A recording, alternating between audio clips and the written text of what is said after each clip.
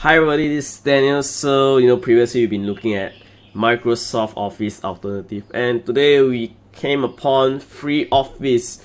And what's the best thing about it? Is it's free. There's no paid plans.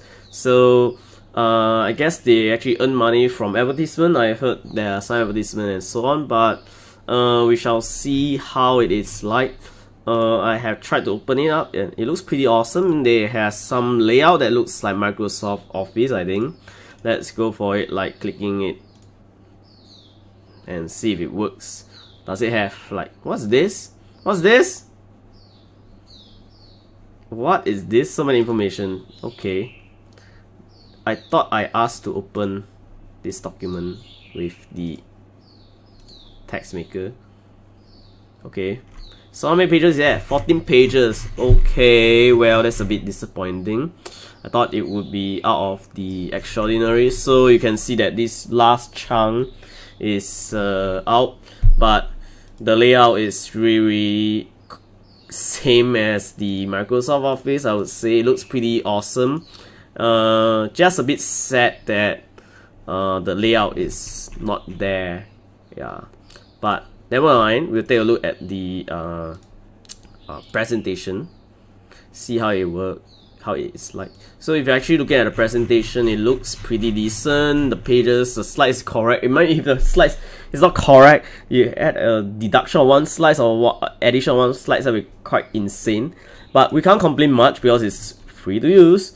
And I guess free office is uh, pretty decent. Uh, just that the word part it's not very good for doing resume kind of thing if you're intending to write resume and you know people send you form and you know like maybe a two page form it becomes a three page form. That's quite kind of annoying.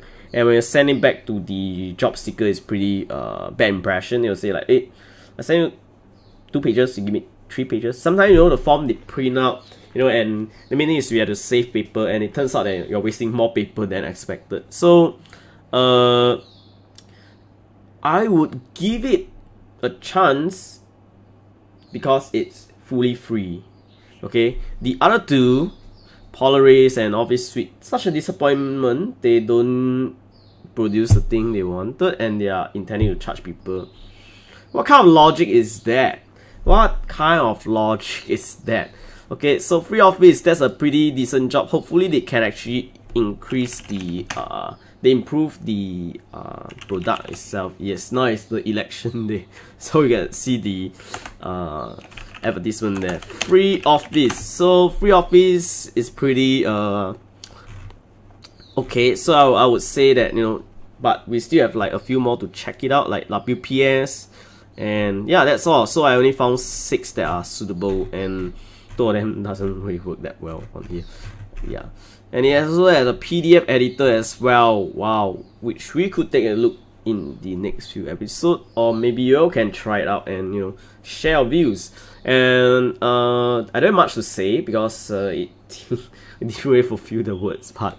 Yeah. So I would say uh, hope you enjoy the video and you know subscribe to me. Share your friend. Free office. You know free office is free. Or libre office it's free. So Free Office has the layout that looks like Microsoft Office, but it's not Microsoft Office because the pages is not the same. So, yeah, but the slides are more or less the same.